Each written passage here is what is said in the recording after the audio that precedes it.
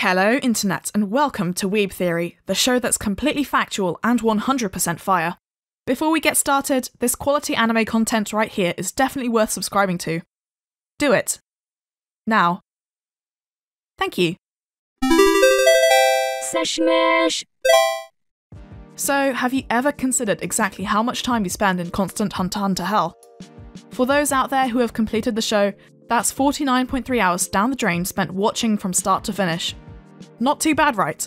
But that's without the opening and ending. An additional 12.3 hours is spent jamming it out. However, we know most of you watching this aren't content with leaving things at just a single watch through.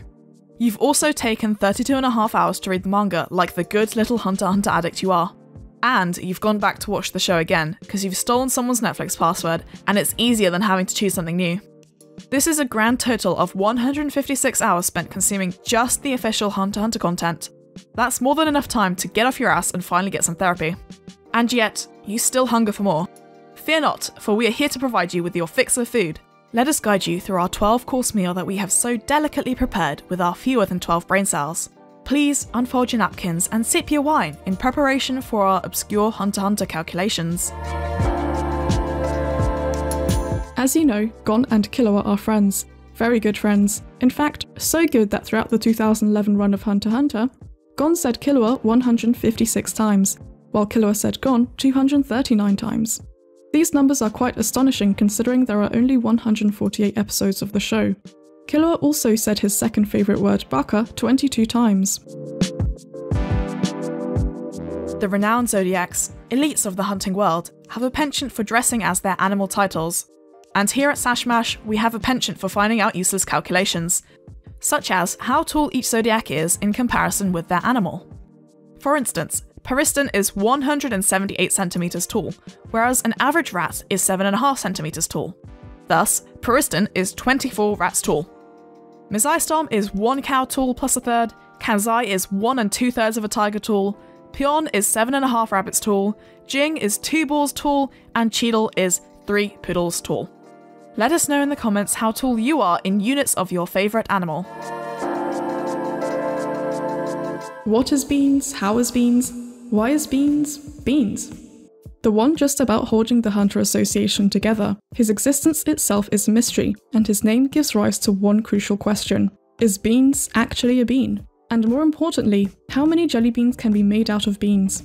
We have already established that Pariston is 185 centimeters tall, and in shot, Beans appears to be about half that height. Beans's volumetric proportions appear to be roughly split into thirds between his head, torso, and limbs. Therefore, his total volume is around 60,000 cubic centimeters. A quick Google lets us know that the average jelly bean is 3.5 cubic centimeters. This means that beans can be turned into just over 17,000 jelly beans if he is melted down and reformed.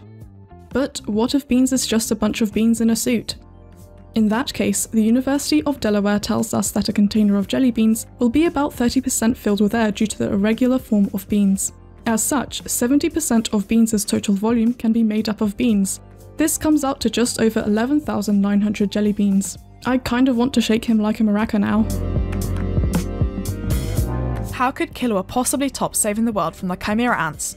Well, he could save it again by becoming an electricity generator.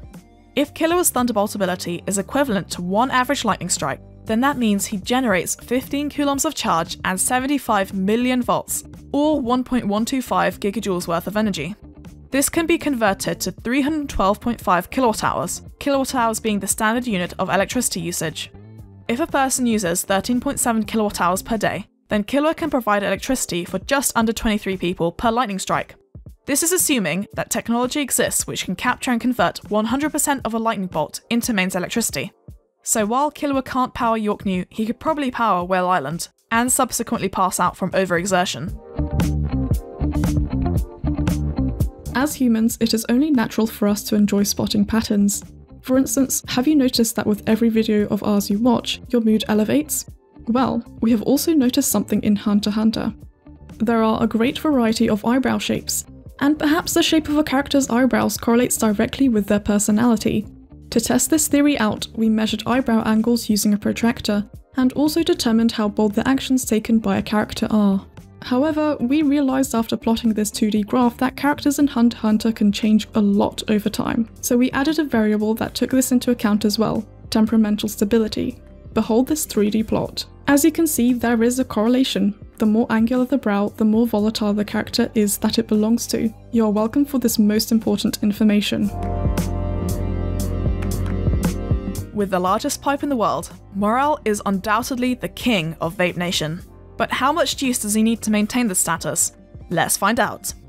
Leorio is 193 centimeters tall and can be split into 8 equal sections 24 centimeters in length, or 8 Leorio heads. Seeing Leorio stand next to Morel, we can determine that Morel is half a Leorio head taller, standing at 205 centimeters. Morel's pipe is about as tall as he is, and is therefore 15.8 times longer than a typical 13 centimeter vape pen. A typical vape pen also has a 2 milliliter liquid capacity, and as volume increases by a cube of the dimensional multiplier, we can calculate that Morel's pipe has a 7.9 litre capacity. If a vapour goes through 5 milliliters per day, then Morel would smoke through 19.7 litres of liquid. This is equivalent to 4 and a third gallon jugs of milk, or 6 six pinters, and it would also cost 750 British pounds. In any case, Morel's a hunter, he can afford any expensive habit. Have you ever wondered exactly how much the Phantom Troupe's tattoos would cost? After many hours of careful deliberation, we have concluded that the answer is in fact zero dollars. They stole them all. What about Chrollo's obnoxious coat? You guessed it, zero dollars. He stole that too. And the price they'll pay for their sins? Eternal damnation. Gon is a school aged kid, but Gon also went on an unsupervised adventure around the world which lasted between one and a half to two years. You may think that he has never done a day of school, but you'd be wrong. It is revealed that after he returns home in the manga, he has to catch up on all his missed homework. Quite a daunting task, but as you'll soon see, also quite manageable. That is, if Gon treats it as a full time 40 hour per week job. If the average teen gets 5 hours of homework per week, and Gon missed between 60 and 80 weeks of school, this would total to 3 to 400 hours in which he has to slave away. This would take 7 to 10 weeks at the intense full time pace, or about 6 months being more relaxed. However, there is also passive accumulation of homework. With each week spent catching up comes an additional 5 hours of homework. Good luck, Gon, I'm sure you can do it. Illumi is the envy of hair havers worldwide, and if he wasn't an assassin, his career would definitely be in shampoo marketing. However, we are not here to discuss shampoo, but rather Illumi's hair itself. Illumi stands at 185 centimeters tall, and using this as reference, we can determine his hair to be about 77 centimeters long. If the average person has 100,000 hairs on their head, then lining up each of Illumi's hairs from end to end would create a strand that goes on for 77 kilometers. We can also approximate the annual expenses of hair products for Illumi's partner in crime.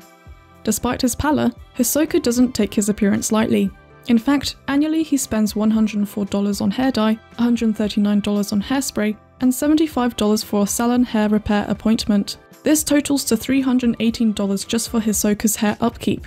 Pause if you want to see the exact calculations. As promised in our top 10 Killua Badass Moments video, it is now time to expose Killua's astonishing Chocobot addiction. Early on in the Heavens Arena arc, we come privy to the fact that the first floor reward is 152 Jenny, enough to just about cover a drink from a vending machine. Killua also boasts that he amassed 200 million Jenny and subsequently spent it all on snacks. If we assume that it is possible to purchase a Chocobot in a vending machine also for 150 Jenny, that would mean that Killua had bought 1,333,333 Chocobots. The imagery used in the show is quite fitting. He was practically swimming in snacks. As it had been four years since Killua last left the arena, that would mean he would have had to eat at least 913 chocobots every single day to finish off his stash before running away from home for good with Gon. He really has a sweet tooth, huh? Thanks to insider information from our dedicated research team, we have determined exactly what Leorio stows in his briefcase, and how much of that what he is able to haul. A standard sized briefcase is 15.75 inches long, 12.5 inches tall, and 4.5 inches wide, with a carrying capacity of about 885 cubic inches.